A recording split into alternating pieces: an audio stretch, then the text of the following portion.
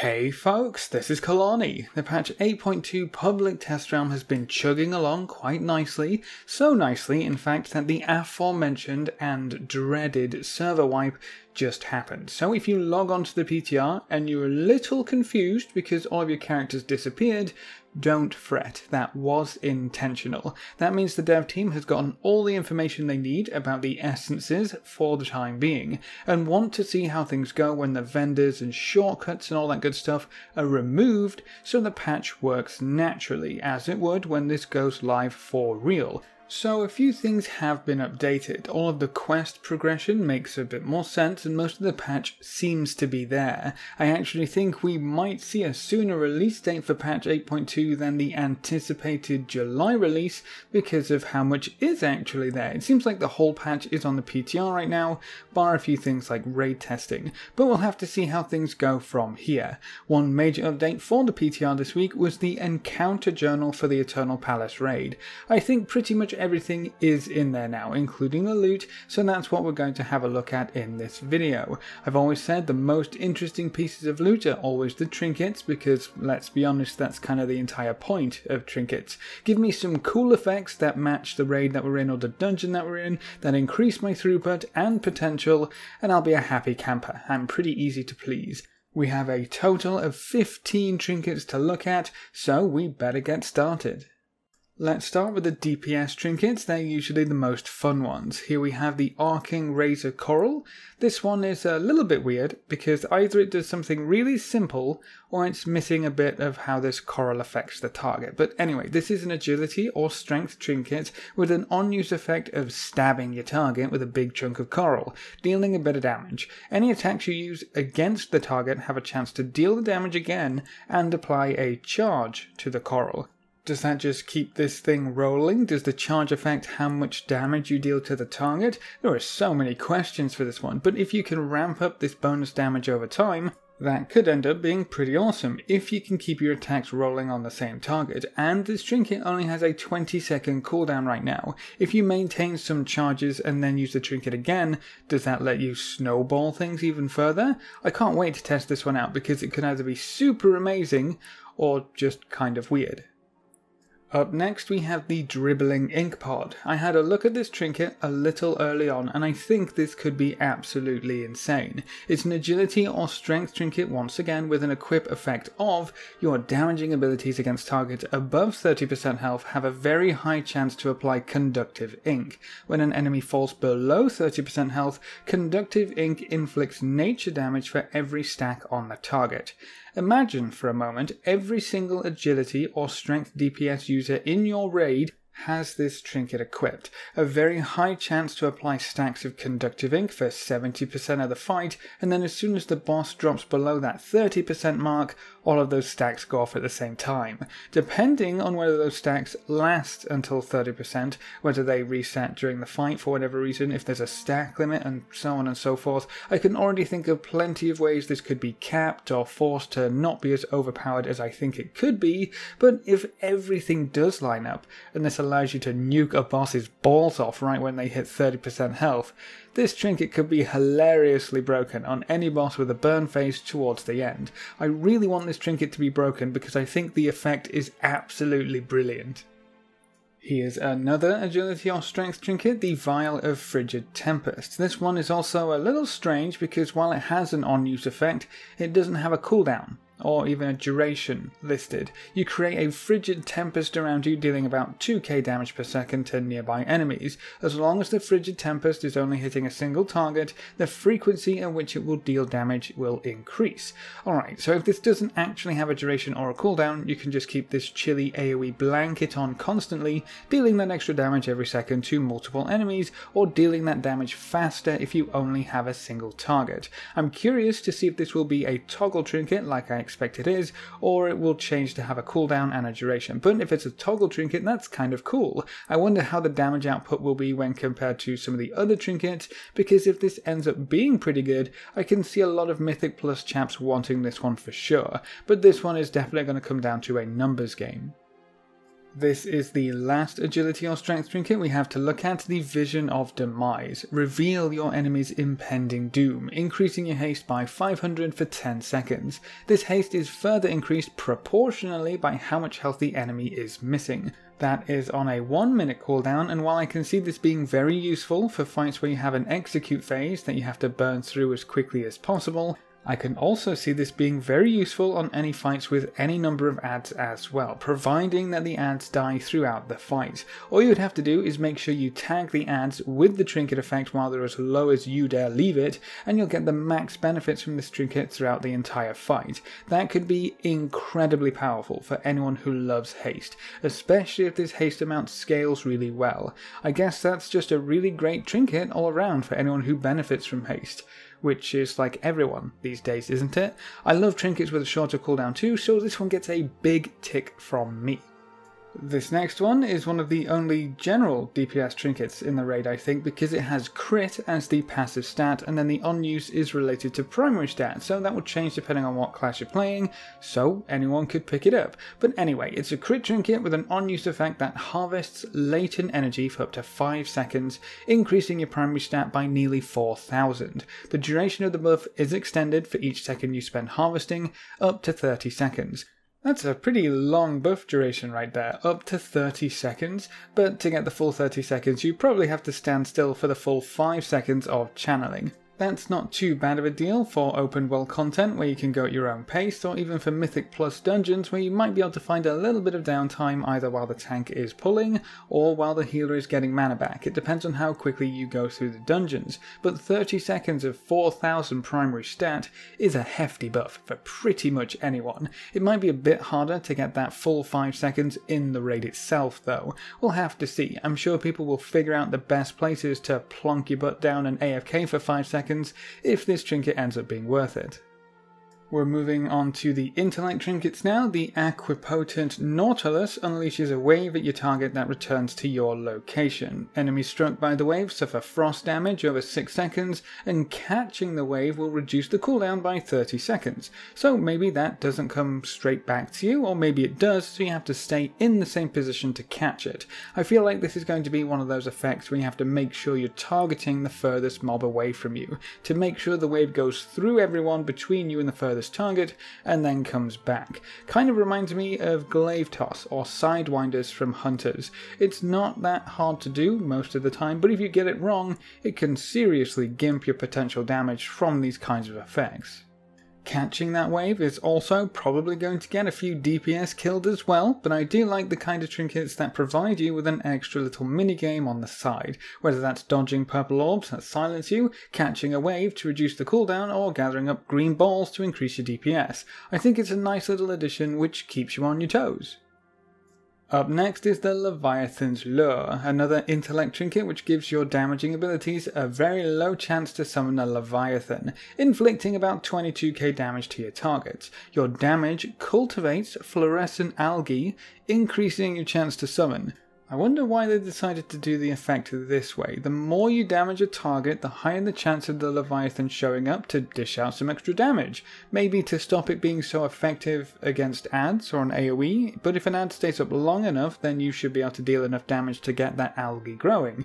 It's an interesting one for sure, though it's not like we haven't seen similar trinkets in the past. I don't think we've seen any of them with a baked in ramp up effect though. I wonder if that will actually cause the trinket to lose favour and potential, especially especially as we progress through a tier and end up killing bosses faster. The faster we kill a boss, the less damage you get to deal, probably the less leviathans are going to show up to bite on that lure. That's one thing to keep an eye on.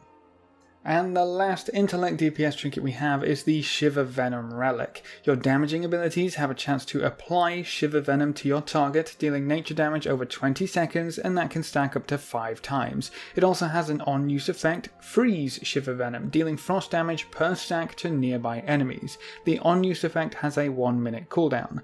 That's pretty cool. So not only do you get to deal some extra damage over time from the equip effect and applying stacks of Shiver Venom, but you also have the option to blow up your stacks to deal some on-demand AoE damage.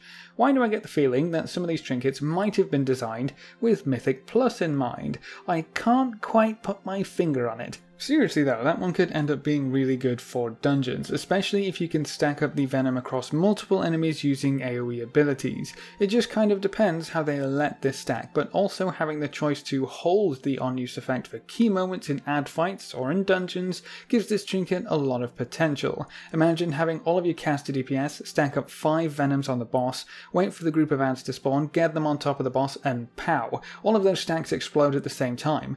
And then everyone uses an AoE essence for good measure because let's be honest, essences are kind of like trinkets too. Being able to save so many large on demand damage sources and use them together might end up making some fights incredibly easy, or at least easier than they're meant to be. But let's stay on topic for now trinkets. This next trinket will probably see some overlap from the caster trinket and the healers. This portal key is a haste trinket with an equip that gives your abilities a chance to create a void tear for 30 seconds. Standing near a void tear opens a portal, granting you a good chunk of intellect for 10 seconds. So that sounds kind of like the void tear abilities that we've seen before, some quite recently. I think a pair of legs from the Crucible of Storms raid lets you do something similar, except you have to run next to the tear to open the portal for this, and then that's when you'll gain your intellect buff. That might seem like a bit of extra legwork to get the same kind of effect, except you can decide when and if to trigger those portals. So you can save it for a bit, line up your cooldowns and go to town. Or if the Void Tear isn't safe, you can wait it out. Maybe an AoE is about to go off and you can run over to the tear afterwards. Or maybe you need to stack on the tanks real quick to make sure you help split the damage. Giving you the option of when to use the tear is pretty interesting and also makes this an on-use trinket with a few more restrictions restrictions, kind of. Moving on, we have the healer trinkets. These are obviously all still intellect trinkets, but I doubt your intellect DPS tunes will get much use out of them. The luminous jellyweed gives your heals a chance to grant luminescence to the lowest health ally within 40 yards. Heals on ally with luminescence heal for 10% more, up to a total of 36k. Not too bad, maybe a little boring, but this trinket makes it easier to top off anyone who might be falling a little too low. It's probably going to be a nice boost for tank heals most of the time too, as I would expect they're the chaps who would end up with the lowest health for the vast majority of the fight. Everyone else might spike up and down as raid damage comes out, but the tanks are getting trained constantly. We also have Stay of Execution. Defer 1300 healing every 3 seconds, and moving releases deferred healing, restoring health to your 3 most injured allies. That one is actually super curious. If you think about it, one of the main problems that healers have these days is healing on the move. After you go through the instant cast heals, most healers can't do any significant healing while moving. Shamans are really the only exception if they have Spirit Walker's Grace available, but for everyone else, this trinket could actually be really solid. If you ever need to move, it's free healing for up to 3 people per healer that has this trinket. If you don't necessarily need to move but you want to provide some extra heals, you can also also move a little bit in between instant cast spells. The only worry I would have about this trinket is the throughput numbers. 1300 every 3 seconds isn't that much health. So if this trinket can't provide enough throughput while moving, then I doubt it will see much use, but the effect has potential to be quite powerful. And then we also have the Zoatroid Egg Sac. A delightful name for a trinket. Why are we carrying around a mind controlling squid's egg sac again? Oh, because it helps us heal. Gotcha, gotcha. This one gives your single target heals a chance to summon a Zoatroid by your target's side, providing them with an absorption effect and granting them some versatility. Every 10% mana you spend nourishes the Zoatroids you have, providing them with an extra 12k to the absorb. I wonder if these Zoatroids persist even after their absorb has gone, because if it does, you could get a lot of value out of this trinket by fishing for Zoatroids with low cost spells, and then when some big damage is coming up, you could burn through some mana to heal through the damage, but also to replenish some of those shields. I think this one is going to be really good for anyone who primarily uses single target heals, like Holy Paladins. And then last but by no means least, we have the tank trinkets. Ashvane's Bloodthirsty Coral causes 10% of incoming damage to be stored as healing blood, up to 52,000 total. You're healed for 8k every 5 seconds while healing blood is stored. If 10% of all damage is stored as healing blood, then I guess that's the cap you'll always be working with. So you should heal for 10% of all the damage you take during a fight, which is going to be a significant chunk while you're actively tanking. Maybe a good choice for fights with constant damage so you can always benefit from the healing, though I wouldn't be surprised if this got left behind in favour of some other trinkets as you progress further into the raid. The Chain of Suffering has a pretty cool effect. Again, it's not particularly new. A few bosses have linked tanks like this before to make sure they share the damage output, but I think this might be one of the first times where we have the option to create the link. Split 50% of incoming damage with an ally within 15 yards for 25 seconds, up to 450,000 damage. If your target moves out of range or falls below 25% health, the link will be broken. That's on a 2 minute cooldown. On the upside, you won't accidentally kill your off tank. On the downside, you can't purposefully kill your off tank, or the pesky demon hunter who always pulls before you in dungeons or raids. I guess if you can take enough damage to one shot them with 50%, that could work, but that's gotta be one heck of a hit. Either way, splitting damage between your tanks could take the edge off for some really nasty attacks. Now this last trinket is a bit of a weird one, and I'm making an assumption here calling it a tank trinket, but hopefully you'll agree with me. It's an agility or strength trinket with an on-use effect to declare an edict. Cannot be used in combat, 30 second cooldown. That doesn't tell us too much, but the equip effect is Gain Edict of the Sentinel, absorbing physical damage that stacks each time the absorb breaks, up to 10 times, recharges after 16 seconds. I think this is something we just have to play around with, because if your absorb shield starts stacking whenever it breaks, up to 10 times, and it starts at 20k, does that mean you absorb 20k, then 40k, then 60k, all the way up to 200k? Surely if that's how it works, you should always have an absorb shield active, unless you take a crazy amount of damage within 16 seconds. That seems bonkers, but being able to declare an edict out of combat is super interesting. Does that mean the equip effect of the trinket actually changes and there's more available than just the one that we see? Or it could be tied to the Queen's Court boss fight where Azshara plays a little game of Simon Says with you. She'll decree certain things and you'll be forced to act dependent on what she decrees. Maybe kind of similar to an edict, not too sure. So it could play around with a few similar effects, or I could just be grasping at straws. Take your pick. And that's all the trinkets coming in the new Eternal Palace raid for patch 8.2. Remember that the raid does open up a few weeks after the patch goes live, so we won't have to wait for patch 8.2.5 for the raid to go live, which I'm super excited about. I'm sure many of you are a little bored of the Battle of Dazar'alor lore at this point, and from the list we have so far, it looks like the Eternal Palace trinkets are going to be quite a lot of fun. I think a few of these have the potential to be the new overpowered trinkets for a few specs, especially some of the AoE ones, but I guess we'll have to wait and see. Most of it does come down to numbers tuning at the end of the day.